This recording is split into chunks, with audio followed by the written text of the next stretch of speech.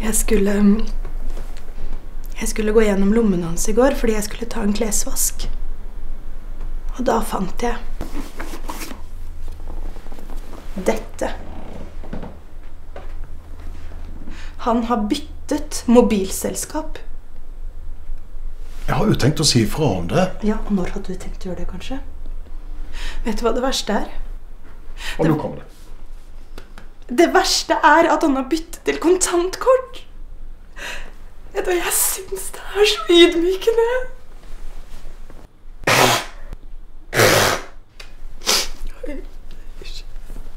Kan du utdype det litt? Bindingstiden var gått ut.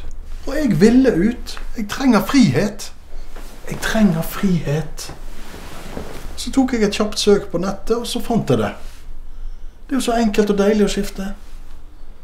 Ingen avgifter, ingen bindingstid. Ingen avgifter, ingen bindingstid. Du betaler kun for det du bruker, og ingenting annet.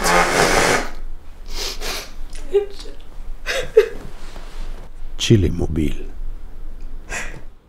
Chili er billig.